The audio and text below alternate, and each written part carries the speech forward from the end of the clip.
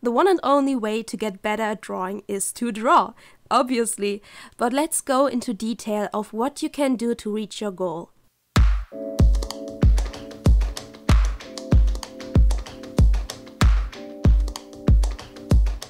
Tip number one Draw daily. Drawing is a learning process. It's like learning a new language. You need to practice continually to improve your drawing skills. It's like riding a boat that swims against the tide.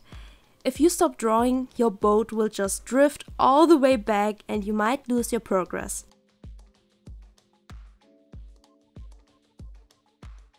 Tip number two Use a sketchbook. You don't need to create full colored artworks every day to improve your drawing skills. Even small drawings, nature studies, or even a few little doodles every day are great to not lose track. Keeping a sketchbook with you can help you to collect your ideas and to practice wherever you are. A sketchbook can be like your own personal diary. You can do experiments, mistakes, write down your feelings, or create new ideas.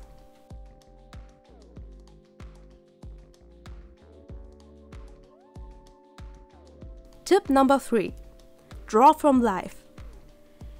It seems so boring at first.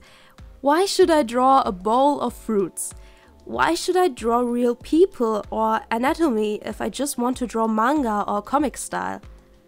You simply need to know the basics. Drawing from life will help you to understand how every figure is built.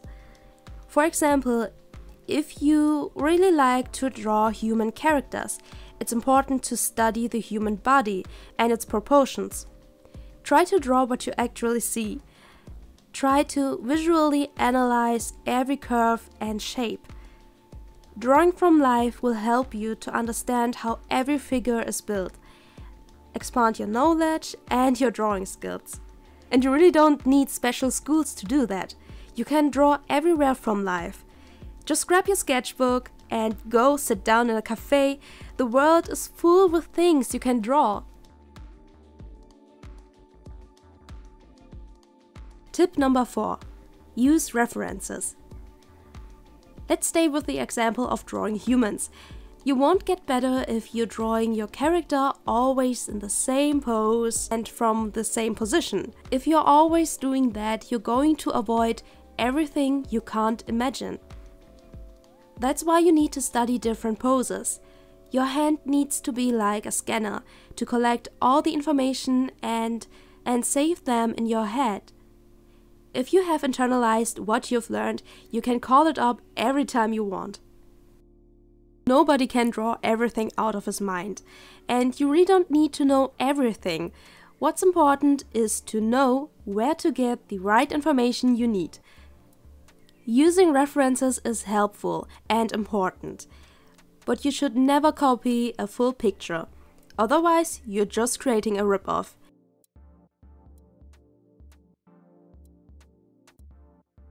Tip number 5 Copy, but don't steal.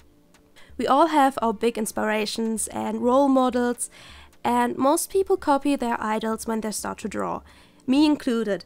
At the beginning, it's okay to copy the drawing style of another artist. You need to begin somewhere. By copying, you're able to learn a lot about techniques and the build up of a picture. The only thing you're stealing is the know how of the artist. And don't worry, if you have mastered the basics, you will be able to develop your own drawing style. And then, of course, you should stop copying. Getting an own drawing style just happens. It happens by itself. Another important thing is never claim copied stuff as your own. Always give credit to the original source, especially if you're uploading copied art. Tip number 6 Use different media. You should be open to do experiments with different art tools and techniques to keep on track and to expand your knowledge. Depending on the media you're trying out, you can get new ideas for new works and maybe you will find the special suitable medium you never want to miss again, and that makes your work special.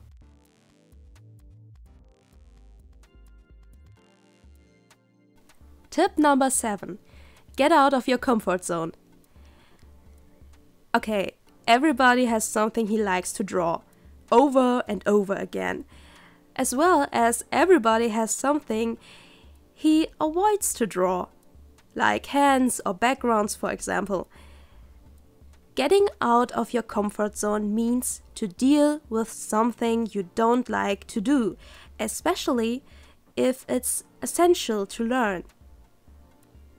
Back to the example of if you like to draw human characters. It will get pretty complicated if you're creating characters, but you don't like to draw hands or full body figures. Most of the time, it seems more difficult than it actually is.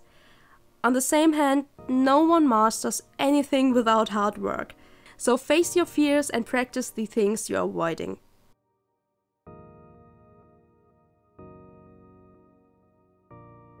Tip number 8. Critique yourself. To improve your skills, you need to know your weak points and your strong points. It's important to be able to analyze your own works without discouraging yourself. It's really not easy to do that, but it will help you to train your visual understanding, to analyze faster and also finding room for improvement easier. Try to look at your work objectively. Take your feelings and emotions out of this process. Take some distance to your work and look at it carefully. What do you see? What do you like if you look at it? And what would you like to change?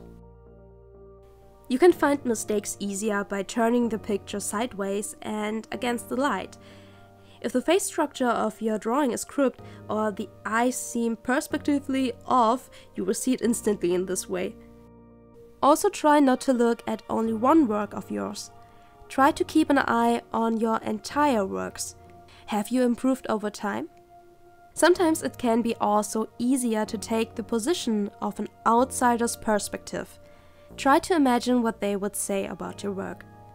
Of course, it's also good to get critique by real people, but it's important to be able to see your own improvement and your room to improve. Don't be mean to yourself. Seeing your weak points is a good sign that your eyes are already trained. Now you just need to catch up with practicing your drawing skills.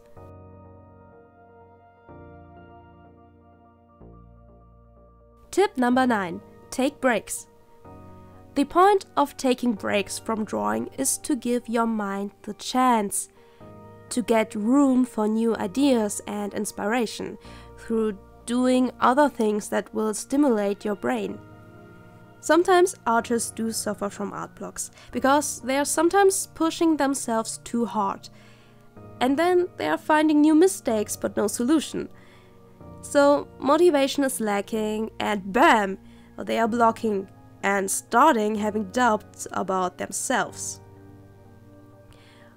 What you need is to find the right balance between learning and the right amount of breaks, where you do something like going outside for a walk, meeting up with friends, watching a movie, and so on. You need to distress yourself to gain new energy. We need to do different things to stimulate our brain, to give our brain new input. Then you will be able to get back to work with new energy and you can refocus on problems easier where you had no solution before. Also, getting enough sleep is pretty important to save up new learned things in our mind.